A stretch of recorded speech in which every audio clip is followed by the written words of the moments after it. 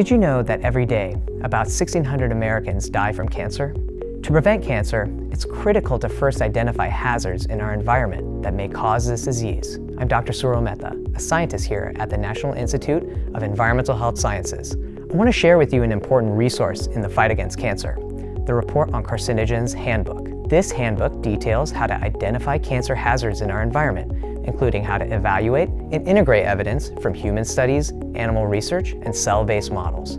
Scientists use that evidence to prepare the National Toxicology Program's Report on Carcinogens, which lists a substance as known to cause cancer or as reasonably anticipated to cause cancer.